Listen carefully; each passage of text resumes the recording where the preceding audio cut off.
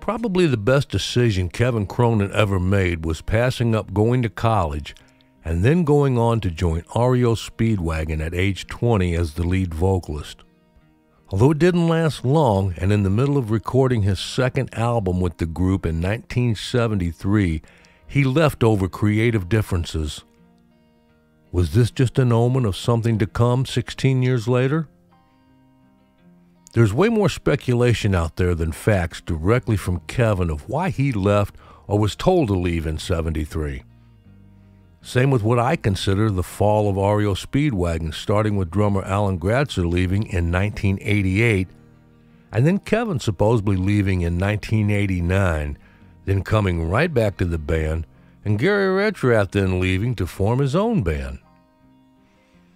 I did some web crawling and came up with a few discussion threads from years gone by on dead but not buried forums that might shed a little light on this.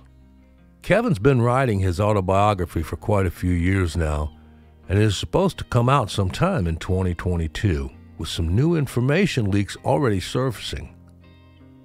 So let's get on with it and talk about what we can for now. As we kick back and take a look back on the lead vocalist of REO Speedwagon, Kevin Cronin.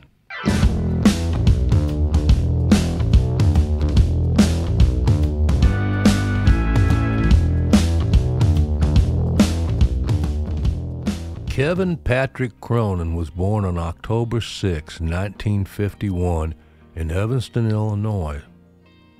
His musical career really started at the same time many other rock stars of the 70s started. February 9, 1964.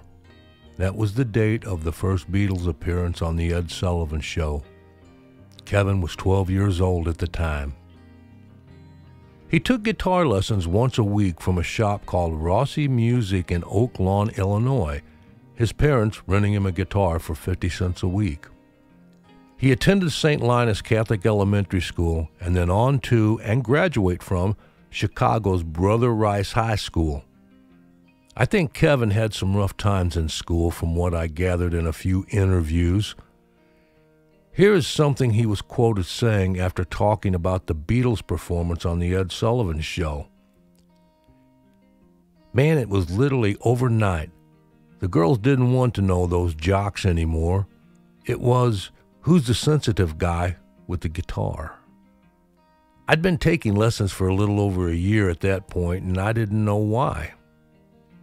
I was just playing stupid little things like on top of old Smokey or whatever, and I was ridiculed by the guys who thought they were badasses. That weekend the Beatles came on, suddenly all those guys started following me because I was the only one in the neighborhood who knew how to play the guitar. And the girls suddenly weren't so enamored by the tough greaser type guys. Kevin Cronin returned to his alma mater, Brother Rice High School, where he had the opportunity to explore the campus after 50 years and speak to the current students. On the experience, Kevin wrote, It was nice to feel closure on some of the more challenging times I had in high school. I found the fonder memories of my times at Rice were the ones which rose to the top as I walked the halls, peeked into some of the classrooms, and felt the progress the school has made, especially in the areas of communication and the arts. I have a feeling because of his interest in music instead of sports in school, Kevin might have been carrying some extra weight around all them years. Kevin went on to play in a few bands, but from all accounts, he seemed to spend more time playing solo gigs for supper clubs and things like that. Then he started doing the musician's referral deal, and that is how he met Gary Richrath. Let me say this here about that meeting. Nobody knows exactly what went on for sure, but Kevin said he did play the song Music Man for Gary, so we can pretty much be sure Gary heard something he liked in Kevin's voice and that song, because Kevin ended up being asked to join REO for that great second album titled REO 2 and it had the song Music Man on it. It sure was a strange musical background, with Kevin being the solo type singer composer doing supper clubs, and Gary the hard rocking guitarist. But whatever happened, there was chemistry. Then we come to the third album, Riding the Storm Out, and Kevin up and quits during the recording of it, saying it was creative differences. And as I said in the opening, was this an omen? I think so. I have a feeling Gary and Kevin were both very headstrong, and at that time, Kevin did not have a good foothold in the band and just left or possibly was told to leave. They finished the album with Michael Murphy doing the lead vocals, as most know, and he did a few more albums after that. And I'll say it, Michael Murphy was no Kevin Cronin when it came to singing in that band. There's a live version of him singing Riding the Storm Out from 1974, uh, I believe on Rock Concert. It's on YouTube. And the song kind of lays there. That is until it comes to the first guitar solo and Gary steps up and basically blows Murphy out of the way. Kevin Cronin had what it took to sing them songs and pick it up after Gary's monster solos. Murphy couldn't do that. So after a few years, I think the band realized that, and when the opportunity to get Kevin back came, they did it. That was January of 1976, and Kevin found out life out there by yourself was tough, as would Gary when he left 14 years later. I did a video on Gary a few months back, so if you want to check it out, I'll put a link up here right now to get you there. It will also be in the description below. After Kevin's return, REO took off, with Kevin and Gary writing and the band recording some great music. Kevin's voice was really sounding fine and it fit right in there with Gary's guitar. Like I said in the Gary video I did earlier, I saw them at Super Jam in St. Louis in 1977, and Kevin's voice was top notch that day. You can hear him on the live album, You Get What You Play For. He was really coming into his own as a rock singer. I know this is a video about Kevin, but it's hard to talk about Kevin and not mention Gary. I did the same thing in my video about Gary. These two guys had a real chemistry when writing and performing together. How Kevin turned himself from a solo club act to a rock and roll singer is pretty amazing. And Kevin said, Gary taught me how to be a rock and roller, and I 100% believe that. Kevin's voice and Gary's guitar was a sound of its own. When Kevin moved to the West Coast from Champaign, Illinois, after he rejoined the band, that was when he wrote Roll with the Changes. This is what he had to say about that. I actually wrote that song as I was traveling from Chicago to Los Angeles when I rejoined the band. I left the band for a couple years. When I rejoined, the band had moved from Chicago, Illinois to Los Angeles I didn't really picture myself as a Los Angeles person. I'm a Midwest boy. So when I came to Los Angeles, I really wanted to feel the journey. I didn't just want to jump on an airplane, it was too big of a move for me. So I wanted to drive. Roll with the Changes was personally about me moving from Chicago to Los Angeles. I was quite literally rolling with the changes. I had just stopped at a truck stop in New Mexico. I had a brown paper bag that was sitting on the seat next to me when the thoughts of the lyrics started coming to me. I was writing the words on this brown paper bag as I was rolling down the road, so I was quite literally and figuratively rolling with the changes.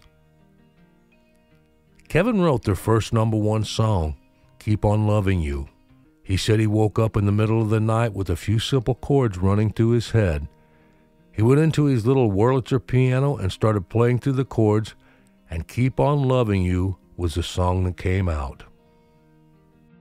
Then a few years later, he wrote their second number one, Can't Fight This Feeling. A song Kevin wrote about a girl he had a love at first sight experience with after seeing her. But who was going with one of his friends. And after they broke up, it took him forever to get the courage up to tell her his feelings. Another power ballad that went up the charts and stayed there at number one for three consecutive weeks. Can't Fight This Feeling was not the first single from the Wheels Are Turning album. That honor went to an up-tempo track called I Do Wanna Know, which only reached number 29 in the US. So it seemed the power ballads were charting higher than REO's up-tempo rockers. Things were starting to change. With Gary and Kevin producing and the hits coming out, the music was starting to change and tension was setting in. Life as We Know It is the 12th studio album by REO Speedwagon, released in 1987. It featured That Ain't Love and In My Dreams, both of which were top 20 hits, while Variety Tonight reached number 60 on the Hot 100. One Too Many Girlfriends showcased the growing tension between Kevin and Gary. At one point, New Way to Love was considered for use in the film Top Gun. This is the group's final studio release with Gary and the original drummer Alan Gratzer, as well as their final top 40 album to date. It went to number 28. By then, it seemed the magic between Kevin and Gary had left. I remember myself losing interest in the band right around that time.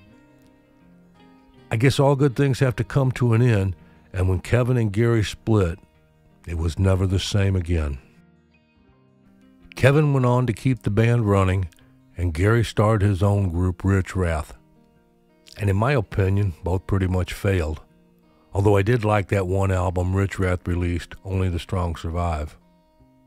Kevin and the band went on to release four more albums over the next 20 years, none of which I cared for. And from the sales of them, it looks like I wasn't the only one. Kevin tours around using the group's name, but to me, and this is just my opinion, but it is an REO Speedwagon. The magic of that band left years ago. There's a lot to talk about in the split between Kevin and Gary, but not in this video. Maybe I'll do another one someday after I hear what Kevin has to say in his book, and that should come out sometime this year. He's been keeping himself a low profile for years. Hopefully, this book will shed some light on him I guess I turned this into more of a podcast than a mini documentary, but that's the way it goes sometimes. Comment section is open. Please feel free to jump in and speak your mind about this video. Whether you agree or disagree with me, I welcome y'all. And as always, if you see fit, subscribe to the channel and ring the notification bell. Give me a thumbs up too. Thank y'all for watching.